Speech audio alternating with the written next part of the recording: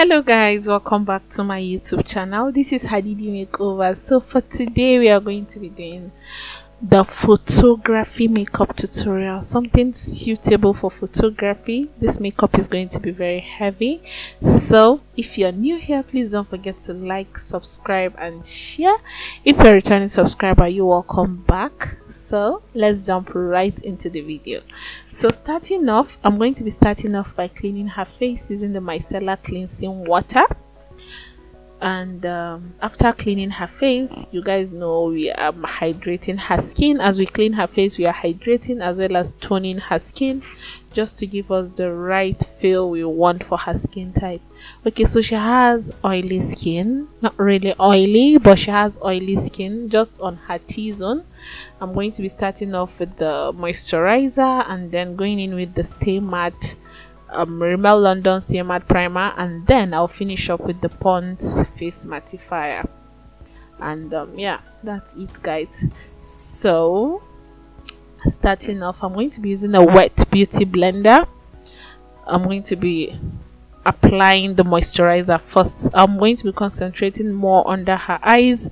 This makeup right here is a photography makeup look so we want it to be a little bit heavy something that will go with um um, some photography suitable makeup sha. So um, I want to make sure the skin work is well prepped like her skin is well prepped before we start the skin work. I just applied the moisturizer first then I'm going in with the Rimmel London Stay Matte. I'm applying it everywhere except for under her eyes. So then the last one I'm applying now is the Pond's Face Mattifier. I'm concentrating more on her T-zone the area where it tends to get oily when her skin gets oily. So let's move on. And um yeah guys last week i couldn't post a video because i was very very sick. I think i had um it was due to stress. I was like too stressed and um, from malaria to typhoid and then we discovered it was low um, blood sugar. I don't know how to pronounce the name of that thing there, but sure. Yeah, I was very sick for like a week. I had to take a week off and um, yeah. Let's continue the video. Let's move on into the video. So as you can see, her neck is lighter than her face and um, I told you guys we want this makeup to be a photography suitable makeup look. We want to make sure we cover all the imperfections on her skin. She has color discoloration on her face. Um, some part of her face is dark and some is just very light. So i'm using a yellow undertone foundation something very yellow on her face on her skin because i want the skin to be i want the skin work to be perfect so that it will be a picture perfect foundation finish. I used the i think I can't remember the foundation I was using here. I think it's the Kalifa foundation. Or is it Fenty Beauty? Let me see. okay, so as I was applying this foundation, if I I'll just drop the name of the foundation on Insta on the description box for you guys to see. Um yeah, so let's move on. I'm actually blending her face using the beauty blender I used before. So can you see? Her face is a picture perfect look now. She has a picture of perfect skin now. So i'm going to be concentrating on the highlights as i said earlier we are doing the um, photography makeup look. We want the face to be picture perfect. So i'm going to be applying a very light shade of concealer for her highlights you want everything to pop clearly this makeup is going to be heavy not heavy in the sense that we are going to be packing everything on her face layer upon layers of no. Like we want everything to be detailed very detailed picture perfect detailed. Want to cover all the imperfections all the spots and everything. So as you can see our face started getting dry. When we were blending the highlight her face started getting dry. So to avoid how her skin is getting dry. I'm going to be spraying her skin. After i'm done blending i'm going to be spraying with a setting spray just to hydrate the skin again. And the foundation will just sit in perfectly into her skin. Can you see how her skin tone is just changing? Like the shade of her skin is changing because we want to achieve a picture perfect skin work. Because we are concentrating more on the skin as we said this is a photography makeup look. So we want to achieve a zero 100% sorry a 100% skin flawless skin. So I'm just going to be blending everywhere smoothly. Want to make sure we get that perfect shape or perfect shade. So we are done with the highlight next i'm going to be using the classic makeup concealer in the shade chocolate to do her contour the face contour. I will be applying this on the side of her nose the hollows of her cheeks on her jawline and then maybe a little bit on the forehead. Guys i told you this makeup i want to achieve a picture perfect foundation make um foundation skin work. So this is just about it. So i'm going to be blending that out gently.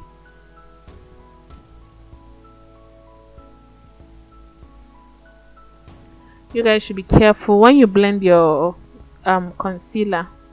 If you guys have been watching my videos this is where i tend to get scared.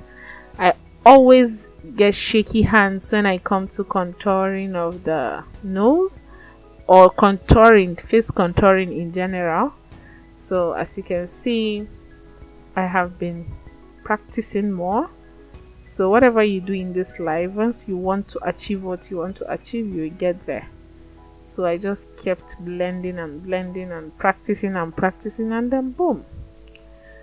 I'm no more scared of i am no more scared of um what's it called contouring again like the liquid contour part so as you can see after i finished blending the contour i sprayed her face with a setting spray just to give me that little hydration I wanted. The face just keeps getting dry. You know, we mattified her skin too much that the face started getting dry. So I just sprayed setting spray just to hydrate the skin a little bit and then I moved on to do the liquid blush. I'm using the Vee Beauty lip stain in Be My Val to do the lip color. To the sorry to do the blush. I just applied just single single drops. Just little little bit of a drop. Like that. Oh, not like a drop. Okay i just applied a little bit on her cheeks and then i'm just blending that with the beauty blender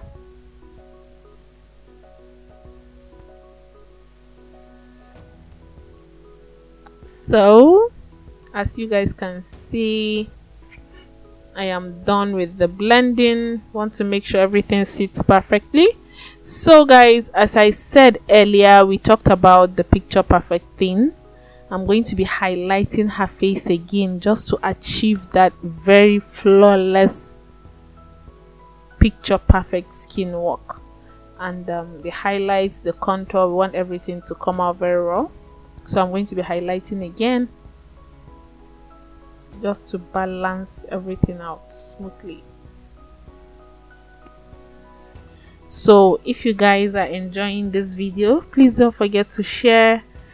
Don't forget to tell your friends to subscribe to like and thank you guys for 21,000 subscribers guys thank you so much. I have been sick. I haven't been keeping up with my videos. I don't even check how many subscribers i have again. Not that I, I don't care. I do care but i've been sick. I don't even go on youtube again and all that. But now i am back fully alhamdulillah. I want you guys to keep praying for me so that i'll keep dropping content more and more here on youtube. So yeah so i'm going to be after blending that out i'm going to be setting under the eyes using her shade of powder from the Vee Beauty powder palette. Then I'll set my highlight very well. Then move on to apply setting powder. I'm going to be using the Airspun setting powder. I'm just going to be applying that under her eyes, the bridge of her nose, her chin, or a cupid bow, and then on her forehead.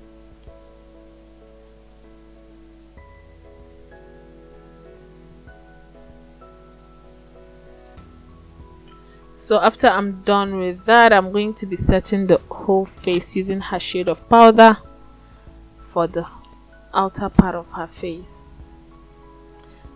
Guys the makeup is looking heavy. Don't worry. This is how we want to achieve. Like this is what we are after. We want to achieve a picture perfect foundation. If you're just joining us here for today you can check out other videos on how to achieve all this. So this is a picture perfect makeup look. Okay so pardon my model. There's a mirror in front of her. She keeps going over to look at the mirror. I don't know why she was doing that but but yeah. So after that i'm going to be doing a reverse contour just to give me i want the i want the real contour to come out very well like the contouring I did I want it to be very obvious so I decided to do a reverse contour using a setting powder. Then we'll move on to the brows. I'm going to be brushing the hair upwards and then using my Davis brow pencil. I'm going to be outlining the outer part of her brows making sure I get it straight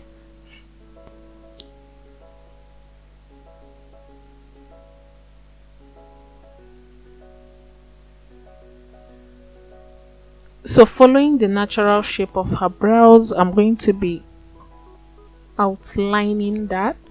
You want to make sure you outline the outer part of the brows smoothly. You want to achieve a very sharp line. You don't want to be you want the line effect to be very flawless because you already did your skin work so if you had not done your skin work you can draw it anyhow. Not anyhow but you can shall draw it make mistakes and you can clean. But since there is skin work you have to perfect the way you draw your eyebrows because there is no chance for you to make corrections or clean because of the foundation is already there. So yeah. So after that i'm going to be brushing that out with the brow tint and then moving on i'm using the ferrarucci concealer palette to clean her eyebrows. I'm using a very light shade for her brow bone. Then i'll use a little bit like the shade in fawn a little bit darker than her skin. Not really darker than her skin something close to her skin tone. I'm going to be using that to do the outer and the inner part of her brows and also the upper part of her brows. I'll be using her shade of foundation so let's see how this comes out. I hope you guys are understanding what i am doing. If you don't just hit me up on the comment section or rather you can follow me up on instagram. Check out my stories. I just um i do post tips on my instagram stories. If you are going to be following me there you should try please. And also on facebook Hadeedee makeovers instagram Hadeedee makeovers and um, if you want my whatsapp number you can go on instagram. My number is there. So that you guys want to if you want to buy raw silk you want to order for your raw silk materials the materials i used to do my turban with. If you guys want to order for that you can just easily send me a dm via whatsapp or dm via instagram.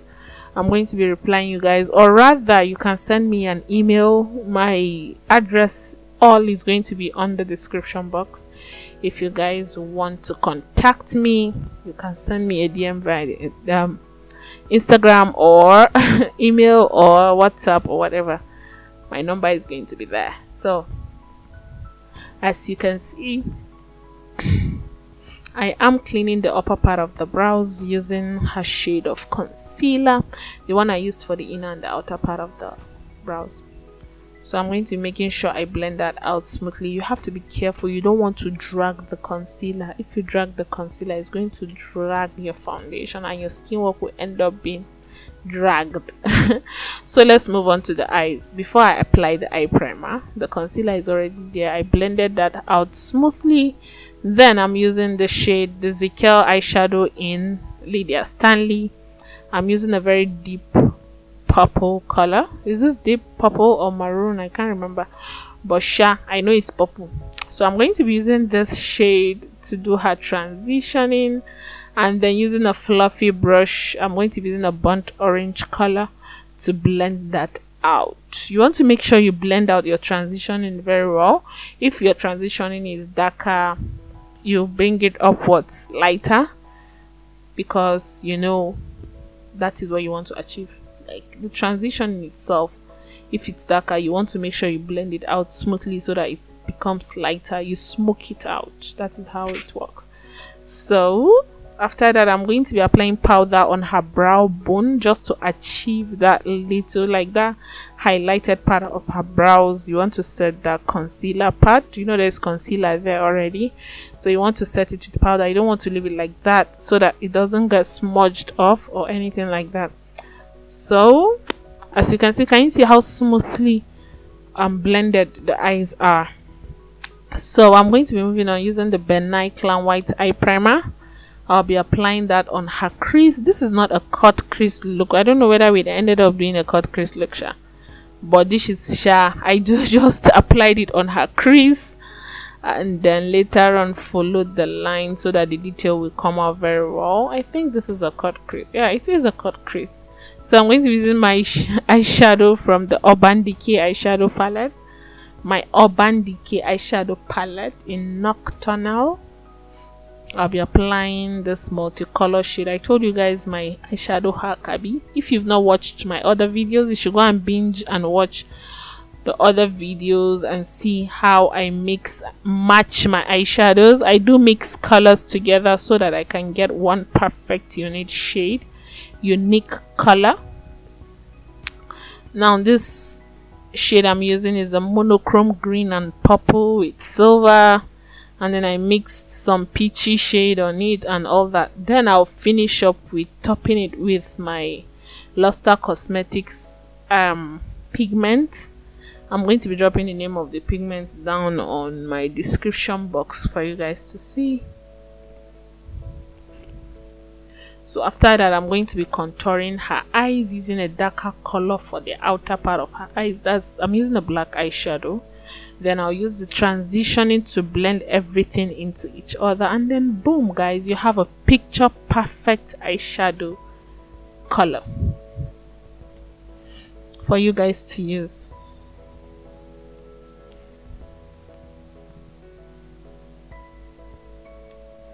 so applying the pigment now okay so this pigment is in Ariana and I think disco ball I can't remember, but I'm going to be dropping the name of the pigment. Aisha was using the Luster Cosmetics pigment. So can you see how bold the eyes are looking? This is what we want to achieve a picture perfect makeup look. If you see the thumbnail, you will know what I am talking about. So we are done with the other eyes. The next thing I'm going to be applying mascara. I'm taking off the eyeshadow fallout on her lashes and also the pigment fallout on her lashes by doing this you want to apply your mascara first before you apply your eyeliner or your eyelashes so that you get rid of all those fallouts and then boom I am applying the lashes I use the Wynk eyelashes in wishes this eyelashes is on wishes so I'm going to be making sure that sits well and pretty. We want to achieve a very very good and flawless eye makeup look.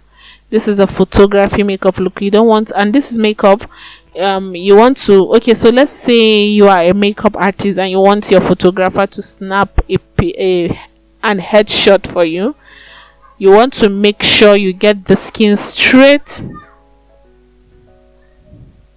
You want to make sure you get the skin straight. You want to make sure you get the eye makeup neatly. And then yeah that's just about it. And i'm going to be applying the eyeliner on her waterline i'm using the zaron eyeliner gel in jazz then boom the eyes are done. We are going to be moving on to the lips I'm using a dark brown shade from classic.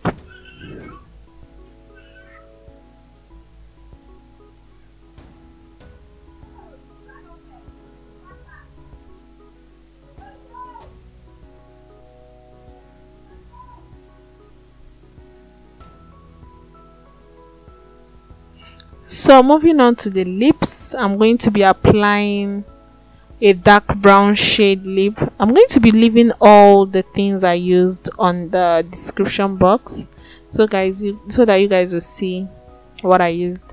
And then yeah. So after i finished lining the outer part of her lips i'm going to be using the shade nude the peachy nude from classic natural nude sorry from classic on the inner part of her lips asking her to keep the lips straight. You just you don't want your model to smack her lips. Is it smack or dab her lips? If she dabs it then the makeup will just end up smudging or whatever. You want to blend it with your brush. As a professional makeup artist you want to blend the lips very well with your brush so the tip for today is whenever you are applying your lipstick you want to make sure you blend that line. So what i do is i use a color that is in between two shades and then i'll just blend the in between two colors together just to get that flawless lip color. So i'm going to be blending that out smoothly and making sure i top it up with a gloss I'm going to be topping it up with a gloss. I'll be using the classic lip gloss in peach for the inner part of the lips. Then the outer part of the lips, I'll be using the clear lip gloss. So guys, I hope you enjoyed this video. If you do, please subscribe. So let's move on. you see I'm applying the peachy gloss. Then I'll top it up with a clear lip gloss on the outer part of the lips so that everything sits and balances well. So guys is this makeup a picture perfect makeup? If you think it's a picture perfect makeup please send a dm down below. Like sorry please comment down below. Like share do whatever it is but please watch my videos to the end so after the lips i'm going to be taking off the powder like the setting powder using the finishing powder on the Vee Beauty powder palette. Just going to be taking that off smoothly. Can you see the face is well highlighted? Like the highlight is there the contours are there. You want her canvas to be well perfected because this is a picture perfect makeup. You don't this is not something okay you can use this as a wedding guest. You can even use it as a bride but we want to achieve a picture perfect makeup look. So this is how the photography photography makeup is. This is how you do a full photography makeup glam. So are you guys enjoying this video? So after that i'm just going to be setting our whole face using the kiss beauty setting spray. And then boom we are done with the makeup. So after the setting spray dries up i'll be using the master chrome highlighter to highlight her whole face like highlight the high points of her face her cheekbones her forehead the tip of her nose her chin and also every other place on her face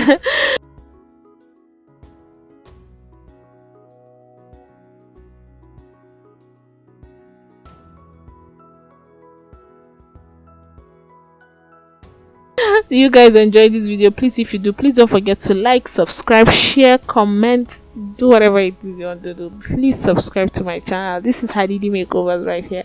I love you guys so much. You guys are the real mvps i'll see you guys on thursday for this turban tutorial. Bye